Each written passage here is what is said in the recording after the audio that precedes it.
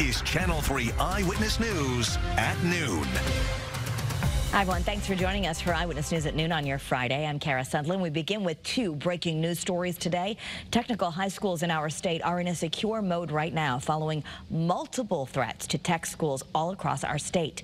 Channel 3 Hartford Bureau Chief Aya Galal is live at the AI Prince Technical High School in Hartford with more on what we are learning. Aya.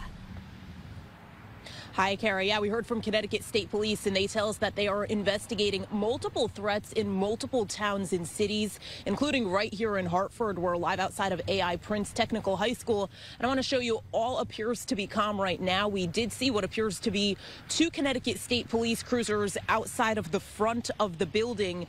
And we are told that AI Prince Technical High School received a report of a possible threat this morning. All technical schools in the state went into a secure mode. That means doors are locked and no unplanned visitors inside of schools. Connecticut State Police were immediately notified once that threat came in. And according to a memo that went out from AI Prince Technical High School, state police do not believe that the threat is credible, but out of an abundance of caution, all Connecticut technical schools have been placed in a secure school protocol. And also, parents are being urged not to call for dismissal of their children unless absolutely necessary. But again, all appears to be calm right now outside of AI Prince Technical High School. We saw what we think are two Connecticut State Police cruisers outside of the front of the building.